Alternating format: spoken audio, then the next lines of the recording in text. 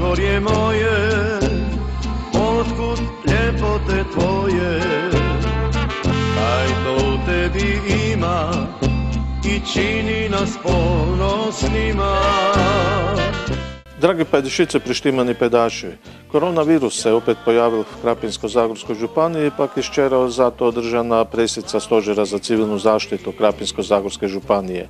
Budite s nami, lučite nas.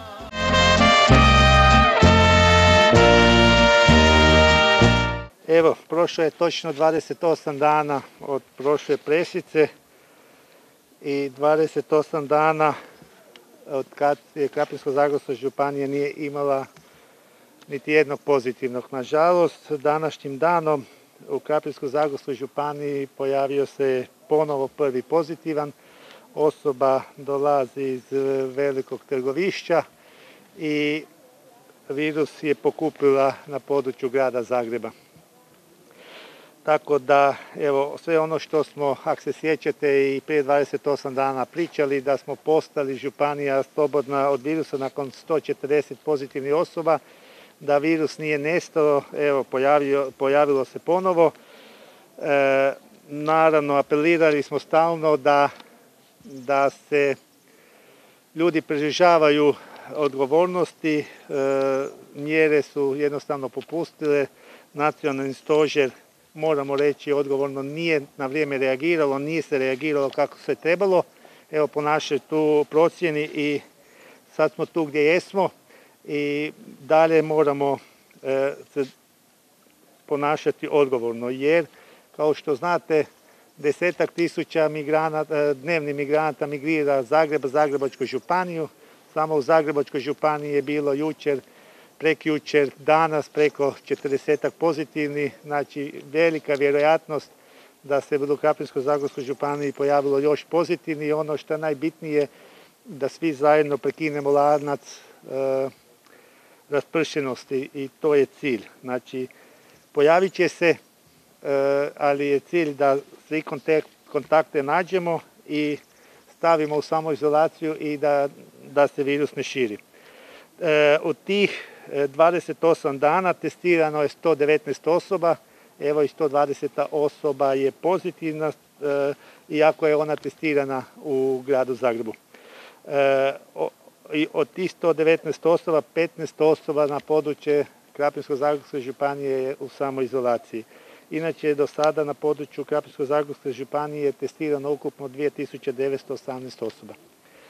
Ono što je Stožer Krapinsko-Zagorske županije još u petak imao e, svoju 25. sjednicu, priopćenje smo dali, iako još nije bilo e, odluka e, od nacionalnog stožera, s obzirom da smo turistička županija, s obzirom na današnji dan točno imamo 128 gostiju.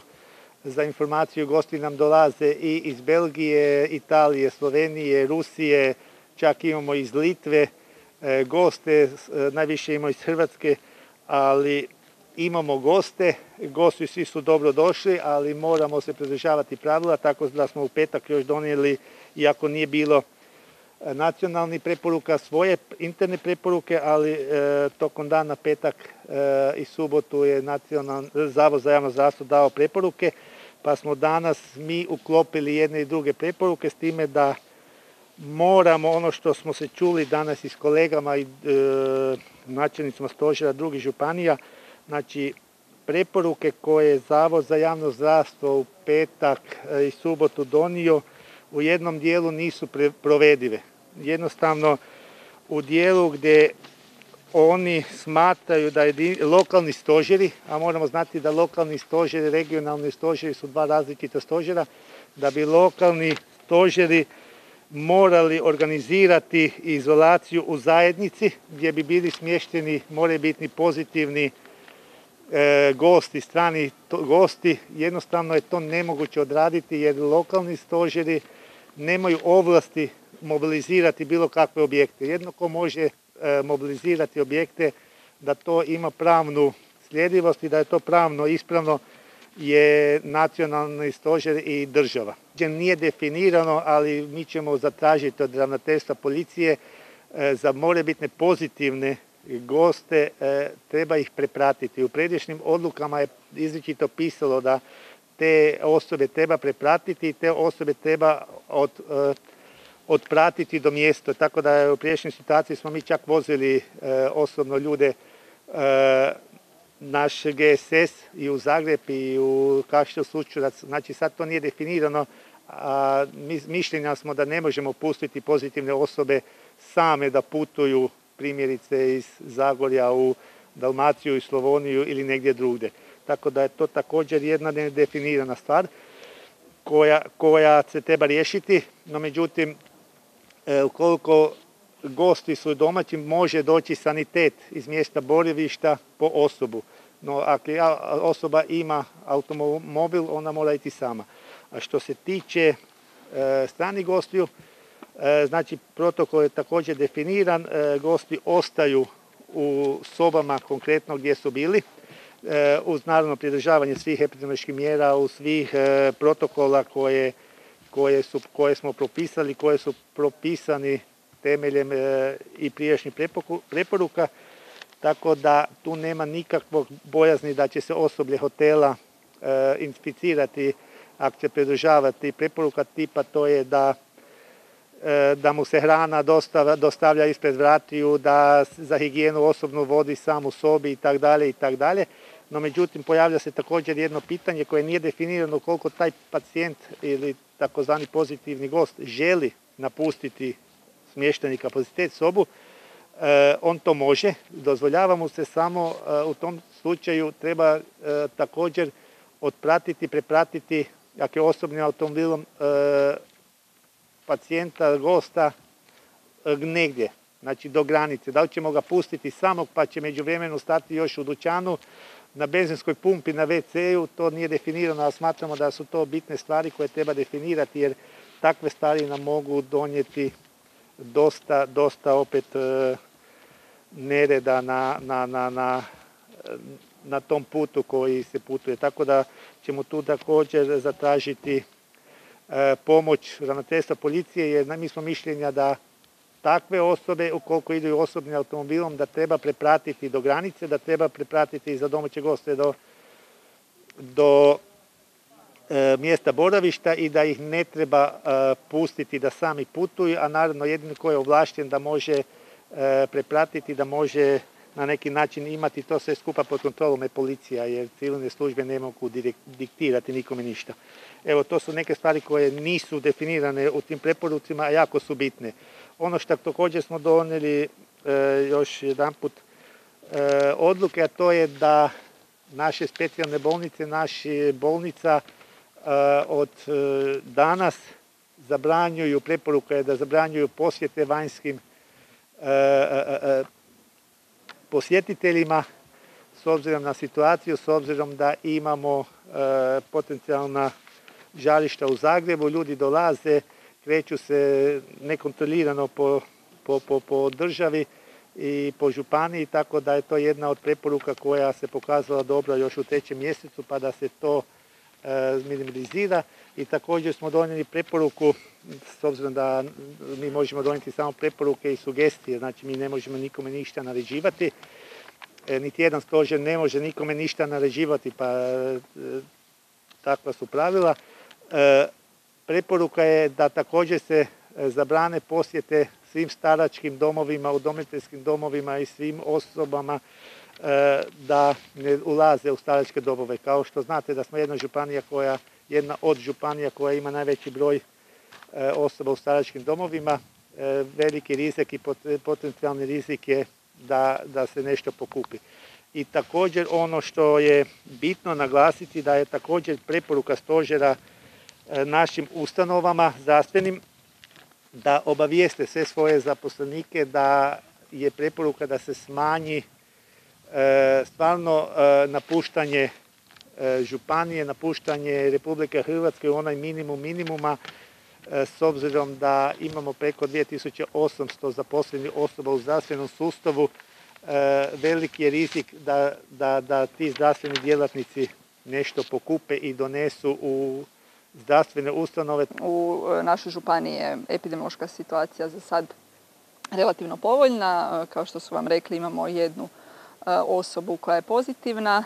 Osoba je dobrog kliničkog stanja, liječi se od kuće i obradili smo sve kontakte te osobe, kontakti su stavljeni u samoizolaciju i dalje pratimo stanje. Uz to imamo sve skupa 15 osoba u samoizolaciji u našoj županiji, to su djelomično kontakti te osobe koja je oboljela, djelomično kontakti nekih drugih oboljelih osoba, pretežno iz Zagreba. Kao što sam rekla, kao što je načelnik rekao, s obzirom na cijelu epidemiološku situaciju, molimo sve e, građane da se nastave pridržavati mjera. Malo smo se svi opustili, nadali smo se da možemo popustiti neke mjere. Ljudi su prestali nositi maske u zatvorenim prostorima, ali evo, s obzirom na situaciju, nitko od nas ne želi ugroziti svoju obitelj, svoje najmilije, pogotovo rizične skupine. Evo, molim da se u zatvorenim prostorima prema preporukama HZZ-a i Svjetske zdravstvene organizacije nose maske, da se u zdravstvene ustanove obavezno nose maske, na svim zdravstvenim ustanovama piše obavijest da je zabranjen ulazak bez maske, tako da ovoga, e, ponekad neki zaborave da je Zavod za javno zdravstvo isto tako zdravstvena ustanova, pa dakle apeliram da se i kad se dolazi u Zavod za javno zdravstvo isto tako nose maske. E, I u slučaju osoba, da osoba razvije simptome, da se ne ponavljaju priče da nam bolesni dođu u pune čekaonice i onda ugroze e, ostale ljude koji su u tim čekaonicama. Znači ako bilo tko sumnja da ima simptome korone, da se telefonski javi svom nadležnom liječniku, hitnoj službi, epidemiološkoj službi, ali telefonom, molim vas.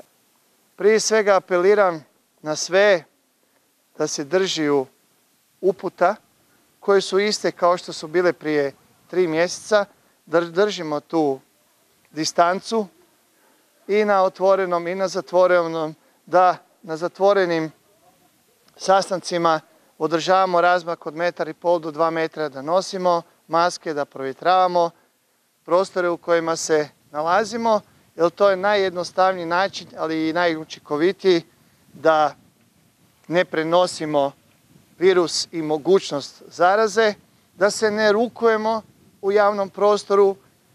Politička je kampanja, to je dio političkog folklora, ali pozivam sve kolegice i kolege da to ne čine, iako zna biti vrlo neugodno kad ti čovjek pruži ruku, a ti mu odbiješ.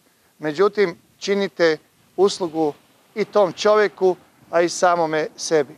Ali ono što tražim a to je od nacionalnog stožera da jasno propiše pravila ponašanja i da pravila ponašanja vrede za sve. Da vrede i za političare, i za novinare, i za radnike, po, po svim resorima, da jednostavno ne zbunjujemo ljude, da točno se zna što se smije, što se ne smije, što je preporuka, a što je obaveza. I to je jednostavno apel jer od jučer ili prekućer kad, su, kad smo imali 30 zaraženih na području Republike Hrvatske, pregorio je telefon i u našem stožeru i oko doktorice Bojane, jer su ponovno ljudi postavljali ista pitanja kao prije tri mjeseca i tražili su jasne upute što je obaveza njihova, a što nije i da znaju ljudi kako da se ponašaju na svojem radnom mjestu, u svoje slobodno vrijeme ako izlaze u, u javni prostor. To ne bi smjelo biti teško, to ne bi smjelo biti komplicirano i pozivam stožer da to napravi čim prije.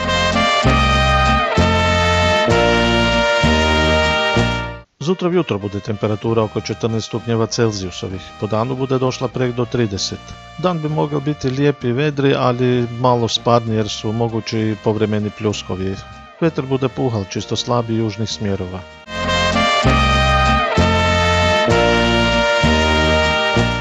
Dragi moji, nadam se da vam se današnja emisija dopala. Če imate neke zapovedati ili bi šteli da neke dojdemo snimiti, lijepo prosim kaj bi poslali elektronsku poštu ili nazovite na broj na ekranu. Če poziva nemo dobili, budite sigurno da nemo došli, a če nam poziv pošljete, onda se morate i vidimo. Budite mi zdravi, mladi, lijepi i veselji. Zutra se vidimo u tri frtalju osme vure i lučite nas. U očima mojim žustre